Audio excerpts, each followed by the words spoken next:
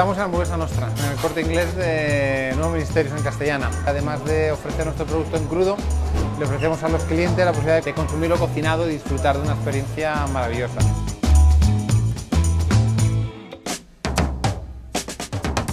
Una hamburguesa de calidad es aquella que está elaborada con piezas nobles. No se utilizan recortes de carne para hacer una hamburguesa, sino que se compran las mejores piezas de carne para hacer las mejores hamburguesas posibles.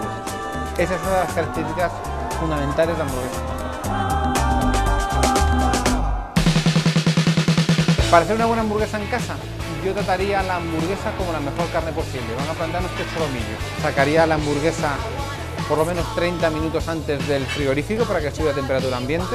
Calentaría una sartén, una plancha antiadherente lo más antiadherente posible, a una temperatura elevada sin llegar a estar muy quemada. Bañaría con aceite la carne, no la sartén, o sea, no echaría aceite en la sartén, sino bañaría ligeramente la carne con, esa, con ese aceite.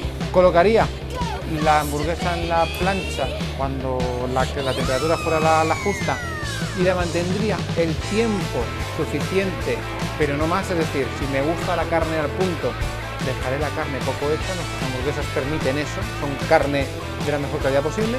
Y por último, como quinto, lo que buscaría es un buen pan que tostaría ligeramente para que toda la hamburguesa estuviera a la misma temperatura a posible.